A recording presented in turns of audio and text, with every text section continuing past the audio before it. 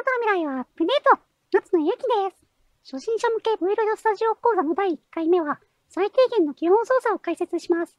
動画の内容は最低限の基本操作ということで、ヘルプへのアクセス方法、ショートカットキーの見方、基本的なカメラ操作、やり直し操作と元に戻す操作、ファイルの保存方法、これらについて解説します。それでは始めていきましょう。一つ目は、ヘルプへのアクセス方法です。V ロイドスタジオの右上の方に点が3つ並んだボタンがあります。ボタンを押すとシステムメニューを開くことができます。その中にヘルプというのがあるので押してみましょう。すると、ブラウザーで Vloid 正式版でできることに関する説明が表示されます。各種機能でわからないところがあれば、まずはこのページを探してみましょう。次はショートカットキーですが、ヘルプと同様に点が3つのボタンを押してシステムメニューを開き、キーボードショートカットのボタンを押します。すると、ブラウザーでショートカットキー一覧が表示されます。保存などの基本操作、カメラの操作、髪型やテクスチャーの編集時に使うショートカットキーなどが記載されているので、一度目を通しておくと効率よく作業を行うことができます。二つ目は、基本的なカメラ操作についてです。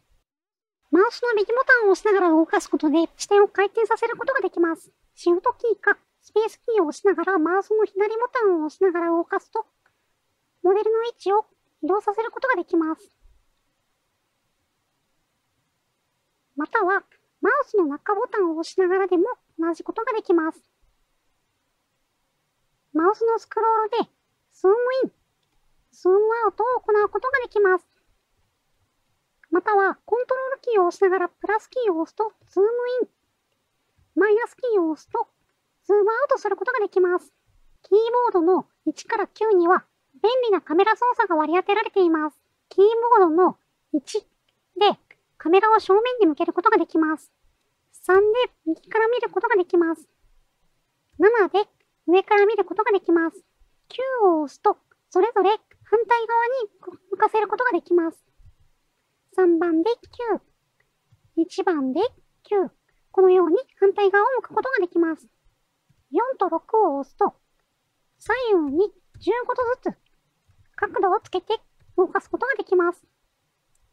2と8では上下に15度ずつ角度をつけてカメラを動かすことができます。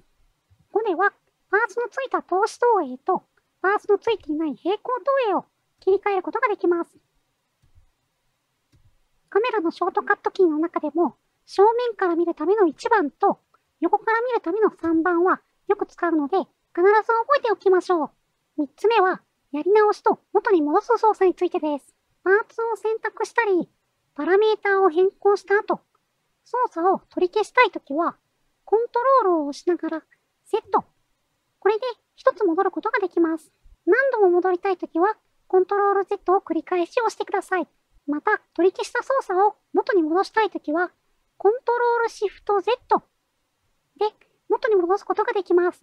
やり直しも元に戻すも回数に上限があるので無限にやり直せるわけではないので注意してください。